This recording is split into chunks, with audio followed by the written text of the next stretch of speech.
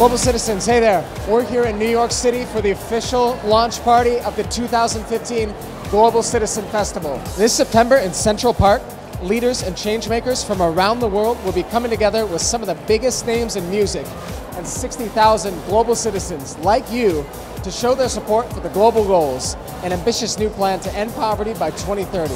Take a look at what people here had to say about the festival, the fight to end poverty, and what it means to be a global citizen. 2015 is a historic year, and it is historic for the movement to end extreme poverty. So I want to focus tonight on the launch of the global goals and what we are campaigning for, which is the end of extreme poverty by 2030.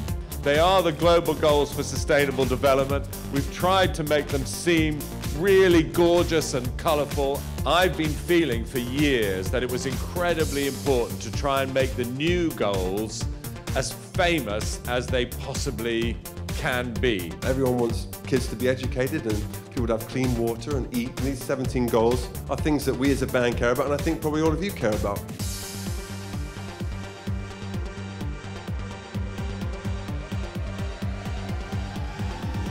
Well, the artists are just fantastic. Just the concert in itself is so valuable. I think it's easy to discount what a concert can do, but when you look at the net impact that they have, it's uh, it's really impressive. Well, music is the best vehicle to deliver an idea.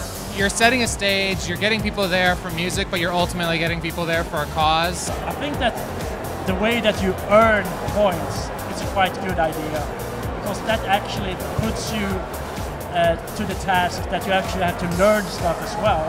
For me, being a global citizen means educating people, helping them understand how the past connects to the present.